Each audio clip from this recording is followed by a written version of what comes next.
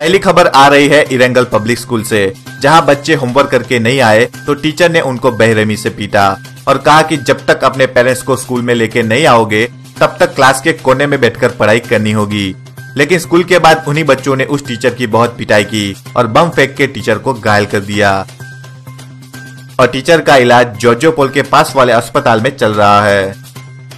चलिए अगली खबर की ओर बढ़ते हैं। मिल्टा के पास वाले गाँव में माँ बाप ने अपनी बेटी की शादी उसके बॉयफ्रेंड के साथ करवाने से मना कर दिया। लड़की ने इसी बात से परेशान होकर घर के पास वाली टंकी से कूदकर खुदकुशी कर ली।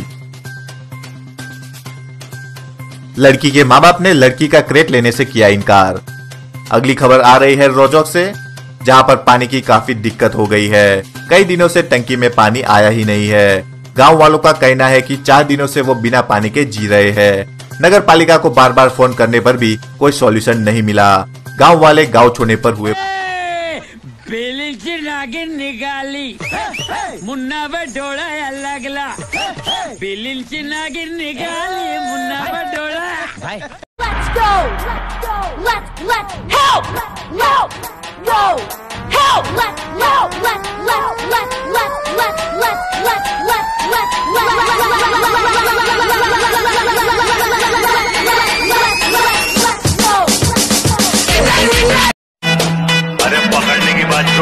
कोई टच भी नहीं कर सकता समझे अरे ए मारो इसको।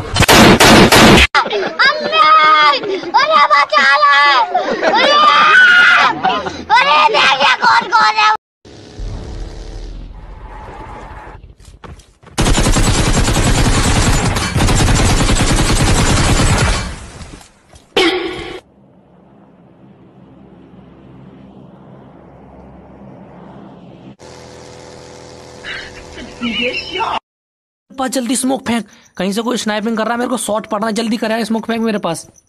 ले ये ले। तू बहुत सही दोस्त है मेरे भाई। अरे तेरे जैसे दोस्त हो ना तो दुश्मनों की ज़रूरत ही नहीं है। तू अकेला ही तेरी बीन सुने परदेसी